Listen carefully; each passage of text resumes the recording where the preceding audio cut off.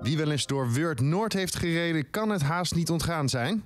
De tuin van Henk Lamers. Hij is van origine schilder en spaart al sinds de jaren 90 beeldjes. Als schilder werd hij afgekeurd en moest met vervroegd pensioen. En toen kreeg ik meer vrije tijd. Op zijn scooter gaat hij vaak op zoek naar nieuwe beeldjes. Meestal naar braderieën en markten langs te gaan. En ik krijg ontzettend veel met de scooter altijd. En als ik ergens een leuk beeld zie of dergelijke, ja, dan koop ik het. Mensen op straat reageren positief. Ook in 2015, toen de Vierdaagse door de straat kwam, keken veel mensen hun ogen uit. Ja, het was hier net een gekkenhuis. Ik denk dat er meer dan 20.000 mensen foto's en selfies gemaakt hebben. Zijn voortuin puilt bijna uit, maar de achtertuin laat hij leeg. Nee, dat had ik ook geen zin in. Ik zeg, het is een hobby, het moet een hobby blijven.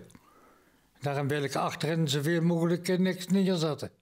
Er komen dus regelmatig beeldjes bij, maar hij gooit nooit iets weg. Nee, dat niet. Of het moet eh, gewoon dat het eh, kapot is of zo dat ik het wegdoe. Maar verder is niet zo dat ik iets wegdoe.